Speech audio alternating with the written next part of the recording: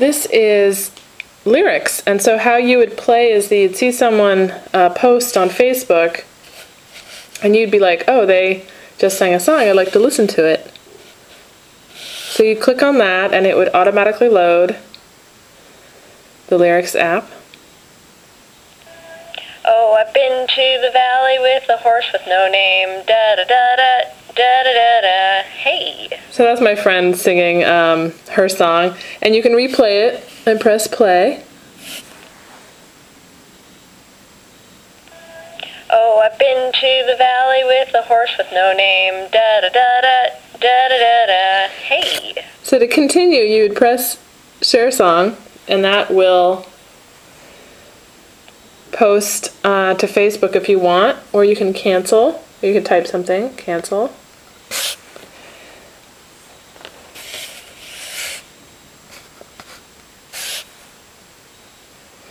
Um, and then you get a new word, or you can um, you can play and record it. Another way to play is to go into Facebook, and if they have a, a word, you could sing a song for their word. Veldt. So I'll sing a song. That Deadmau5 song with Veldt in it. Kind of cheating because I don't actually know a song with Veldt in it. That Deadmau5 song with Belt in it. So I'll share that out to Facebook.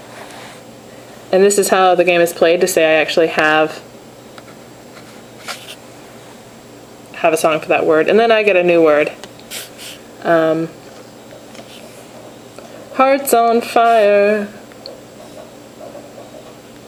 And I can post that onto Facebook. Um, or you can actually type in a word. So I'll type in dog here and share that out. And then people will sing um, the dog word. I'll get a lot of funny dog posts out there. So I'll share that. And that is how you play lyrics.